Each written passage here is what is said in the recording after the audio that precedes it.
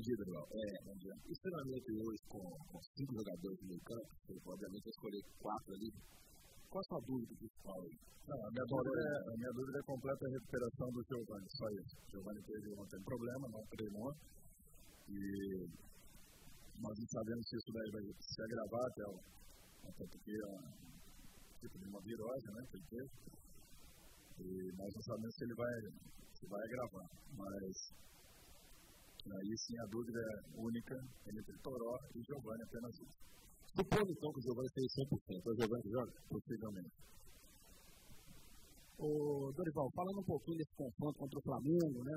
O clássico, o Atlético Flamengo está decidido o Campeonato Brasileiro, jogos todos, Libertadores e tudo mais. É, até que ponto você entende que esse momento ruim do Flamengo pode ajudar o Atlético a, a buscar essa vitória no Engenhão?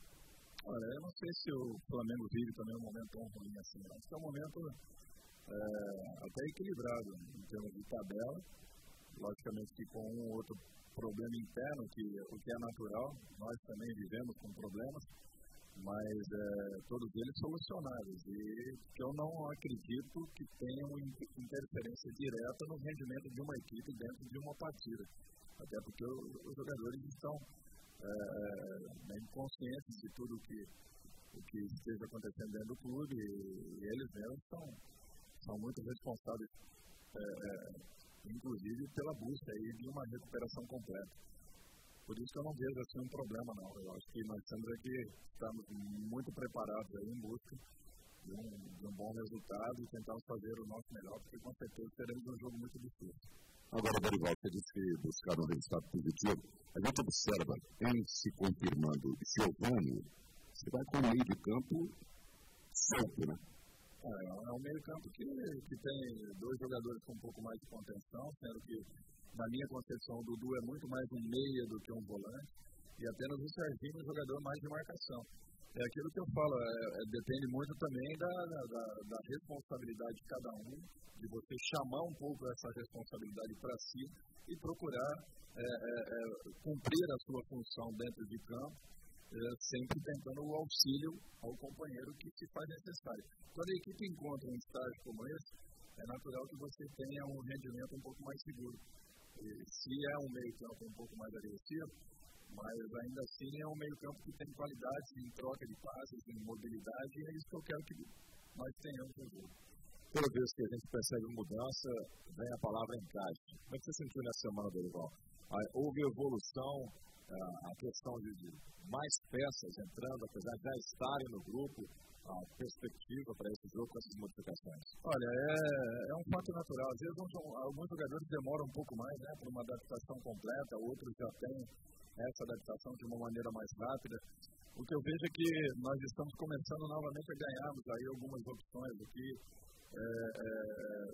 tem acontecido, infelizmente para nós, é que nós estamos perdendo alguns jogadores no mesmo momento e na mesma posição. Isso aconteceu com os laterais, quando nós perdemos os dois. Aconteceu agora com, com, com o Felipe e com o Richardson. Então, é isso que, que às vezes nos preocupa um pouco. Quebra-se um pouco aquela, aquela regularidade que a equipe vinha tendo. Mas ainda assim, eu acho que a equipe tem se comportado bem, o grupo tem assumido muito tudo isso. E é questão de tempo que, que, que os resultados sejam encaminhados é, se mantivermos essa postura que a equipe vem tendo.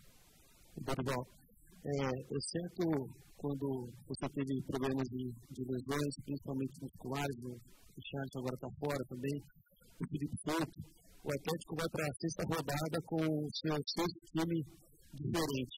É, dá para se concluir que talvez você ainda esteja fazendo alguns testes entre aspas, buscando o time ideal do Atlético nesse início de competição? Olha, eu, eu talvez não colocaria nem como testes, eu, eu acho que eu estou buscando a equipe ideal e eu quero que isso aconteça o mais rápido possível.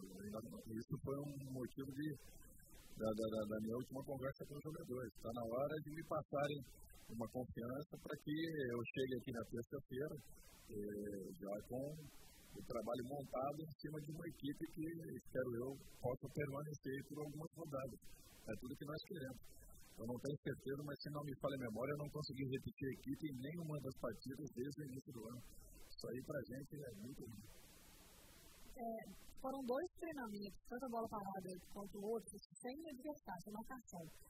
Mas a maioria das finalizações foram para fora, quase preocupando ainda esse ataque. Não, não. Não, porque é, é a típica jogada que é, é, o tipo de trabalho que, que os jogadores, eles por terem essa liberdade né, de movimentação, eles procuram realmente o encaixe mais correto, a batida mais precisa. E, e, no futebol um detalhezinho, da maneira como você bata na bola, da maneira como você encaixa o pé, ou ela entra com precisão, ou ela acaba saindo também é, bem pedra. Então eu acho que esse tipo de trabalho é, é mais nesse sentido. Erros vão continuar acontecendo. Agora, nós temos jogadores aí capazes de, de, de, de fazerem gols e brigarem diretamente pela artilharia do campeonato. Dorival, é tudo que nós queremos.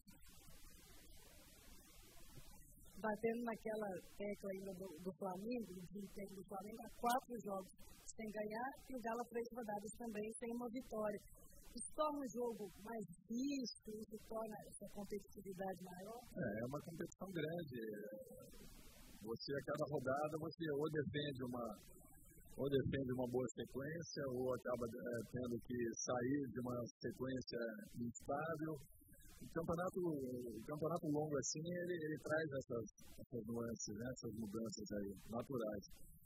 Eu, o que eu vejo é que é, é, nós vamos ter que ter a consciência que a cada momento as exigências da competição serão maiores, os adversários estarão mais preparados, alguns com algum tipo de problema, outros com outros.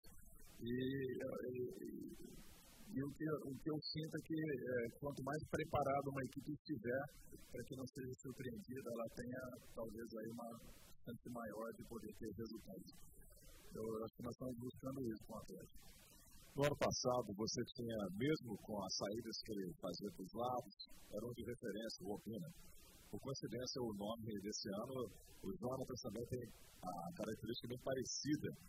Como você pretende utilizar essa, essa alternativa de jogo com um trabalho mais de referência? Se no decorrer das partidas, se em algum jogo específico, você pensa em utilizar esse tipo de informação? Não, primeiro nós estamos dando um tempo até para uma adaptação maior do Bino.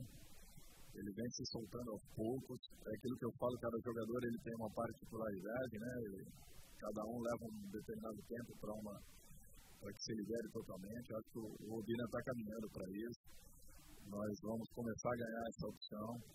Só esperando também uma resposta né, dos jogadores que estejam entrando. Eu acho que tem todas essas situações.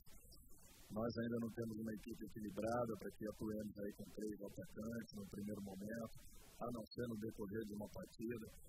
Então, eu prefiro que é, primeiro nós estabilizemos uma vez por todas a equipe, para que depois possamos ir inserindo uma outra situação aí dentro do merecimento de cada um deles.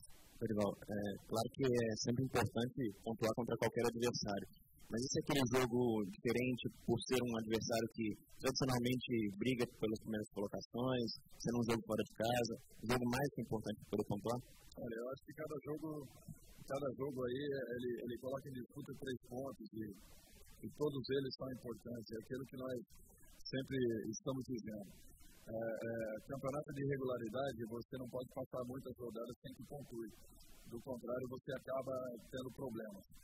E eu acho que está na hora do Atlético não só fazer uma boa partida, uma boa apresentação, mas também brigar de uma maneira mais direta aí pelo sucesso na, dentro dessa, dessa, dessa, dessa apresentação.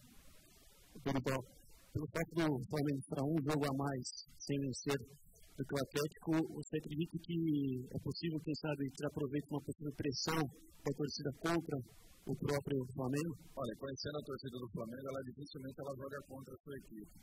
É muito difícil que isso aconteça. Eu acredito que teremos um jogo onde a torcida vai, vai participar diretamente, como sempre fez. E o que é importante é que o Atlético esteja preparado aí para poder superar um grande adversário. Berval, é, você já disse que a dúvida é só ali no meio, então foi confirmado aí o retorno do Guilherme Santos na lateral esquerda como titular. Ele ganhou uma posição, uma evolução no dia a dia nos treinamentos, parte física, técnica? Não, eu acho que é um fato natural aí. É, eu tenho também contado com o crescimento do Leandro, foi apenas uma opção. O Flamengo tem uma passagem muito forte com, com, com o Léo Moura pelo lado, um jogador essencialmente de ataque. E, e, o, e o Guilherme ele, ele tem uma marcação um pouco mais agressiva nesse sentido.